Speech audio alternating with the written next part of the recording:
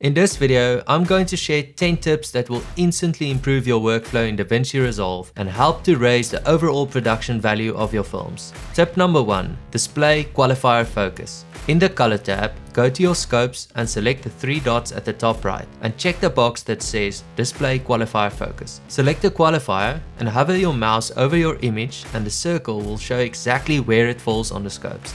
This is a massive time saver and allows you to quickly check if your skin tones are accurate on the vector scope, instead of having to isolate it first. When the line is in the middle of the circle for the relevant skin area, that's your confirmation. It also helps to check white balance. So if you hover over an object that's true white and perfectly balanced, you will see just one circle. But when the white balance is off, you will see the circle split apart. For example, here you have more blue and less red. Tip number 2. Instant Swap. Swap lets you change the order of clips and shuffle them around in your timeline without the need to manually move them up and down on the timeline. Unnecessary steps taking unnecessary time. To do this, go to your keyboard settings and select a custom button of your choice. Mine is the left bracket to swap left and the right bracket to swap right. When working on a busy timeline with audio and other elements like titles and adjustment layers on top, just make sure you deselect the auto track selector, which will ignore these tracks when making changes between clips. Tip number 3. Easy bin folders. Gone are the days of creating new bins for all your folders and individually dragging files into their own bins. If your folder is well organized on your drive,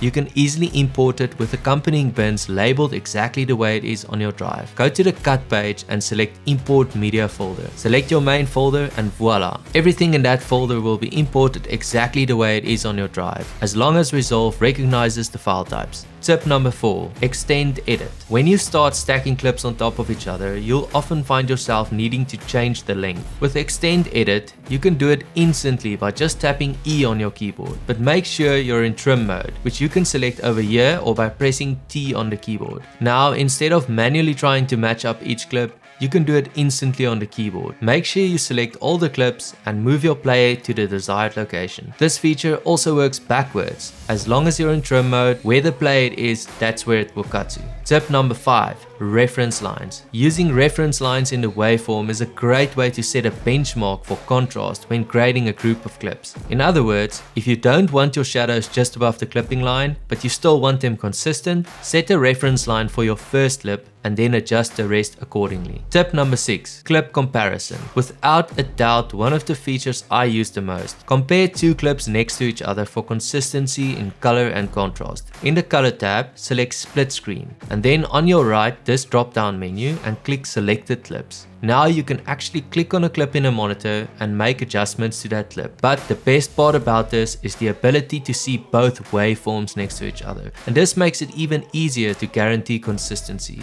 You can select as many clips as you want. And this gives you a great overview of the flow of color. Again, making it easier to spot inconsistencies. Tip number 7. Plugins. If you watch any of my last videos, you might have noticed a significant improvement in motion graphics and the way I explain things. That's because I finally started using plugins. With more and more people moving over from Premiere Pro and Final Cut, the amount of plugins available for Resolve is growing rapidly. After trying out the MTuber pack from Motion VFX, I was hooked, so I grabbed a bunch more. These plugins are incredibly easy to use and you don't need to read a guide or watch a tutorial to understand how they function. Now Motion VFX didn't pay me to promote this, but I did sign up for their affiliate program, so if you want to try them out, a wonderful way to support my channel is to use the link in the description below and check out all their latest promos for a discount. Tip number 8. Select clips forward. With this feature, you can instantly select all clips to the right of your playhead without touching anything before the playhead. Perfect for when you have a busy timeline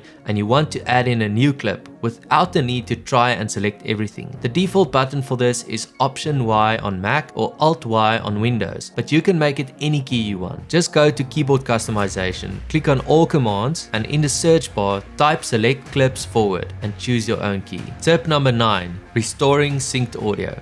You can easily bring back deleted audio from a clip synchronized to its original position. Select a clip in your timeline, click on match frame and drag the audio picture back under your clip. Just make sure snapping is enabled to ensure it snaps perfectly in sync. Tip number 10, media management. One of the most underrated tools in Resolve. So many uses, but my favorites are saving hard drive space and collecting scattered media in one place. You can tell Resolve to copy an entire timeline or entire project to a new destination, but only bring along with it the files used in the timeline or project. You can take it a step further and only copy the cuts. In other words, Resolve will trim the original files and only keep the in and out points made in the timeline. But for safety, you can add a few frames on both sides, but this will drastically reduce the size an old project takes up. When working with scattered media from multiple drives, you can copy specific clips, either selected in the media pool or selected in the timeline, and to relink it to a new destination. If you have any more questions, feel free to drop it in the comments below and I'll do my best to answer.